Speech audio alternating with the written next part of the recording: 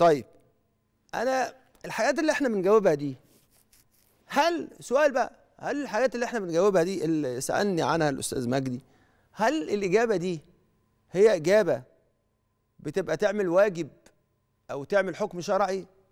هي كل اللي إحنا بنقوله دوت كله إذا كان دوت مش هيتحقق بيه العشره بالمعروف يبقى ضروري ومهم. يعني ده حاجة مهمة جدا جدا جدا. يعني ما ينفعش أقول لك أنا في حركة بتتعمل ما بين الزوجين لا يرضاها الله اللي هي فكرة إيه؟ أنا عارف إن ده حل المشكلة عارف إن التواصل بالطريقة دي إيه اللي حاصل؟ هيريح قلبه أو هيطمنه.